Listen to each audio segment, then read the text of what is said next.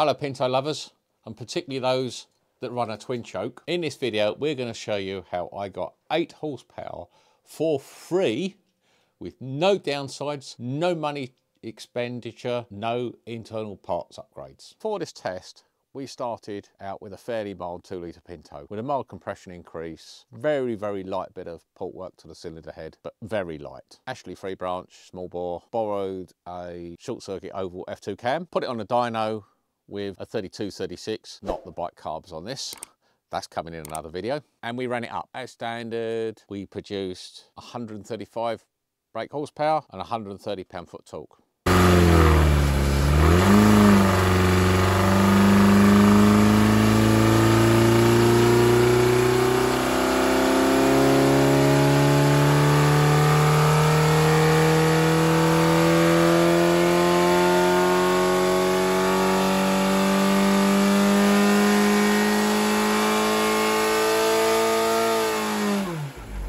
Having established our baseline, the first step was to remove the intake manifold and match it to the cylinder head. And I've tried this modification on a flow bench and it, so, it showed zero improvement, but you never know, it might work on an engine. And to be fair, after I'd matched the ports and enlarged them for the first inch or so up the manifold, we gained one and a half brake horsepower. Win-win, smiles all round. Next up, I ported the inlet manifold at the base of the carburettor. Opened it out widthwise, tried to take the roof up to improve the airflow. Back on the dyno, we found another 1.4 horsepower. Next up, taking my inspiration from a lot of the dyno guys in America who love playing with carb spacers, machined up an inch spacer to go underneath the carb. I also made a matching one to lift up the throttle linkage. That spacer picked us up initially nothing. The reason being the, air, the AFR went really lean. After a quick rejet, we did have a power gain.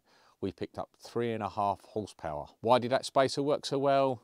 It's probably a combination of things. If a carb is a little on the small side and restrictive, the spacer gives a bigger plenum volume, which makes the carb appear bigger, and it also allows the air a longer distance to transition and got the pulse. Following the spacers, we tried one more. This time I made up an inch spacer to go between the inlet manifold and head. Spacer between the inlet manifold and the head netted us another two and a half horsepower. And when we look back at all the dyno results, the data added together, we picked up eight horsepower in total. So now we need to go to a graph of the before and after, which clearly shows a difference. How's that? Yeah, at the beginning I said it was free, but to me it was free. The metal came out of a scrap bin and it didn't cost me anything to machine it. But with time and patience and a Black & Decker drill and a hacksaw, you could do this yourself at home. So it really is free horsepower. We gained 8 horsepower and torque throughout the rev range. There was no downside. We went from 135 horsepower to 143 and we picked up another two and a half pound foot torque. In terms of peak numbers, we're tantalisingly close to what a pair of 40 DCOEs gave on the same engine. And that's got to be a result. So if you like this video, you like the result, you want to see more, you know what to do guys. Like, share, subscribe, ring the bell. Catch you on the flip side.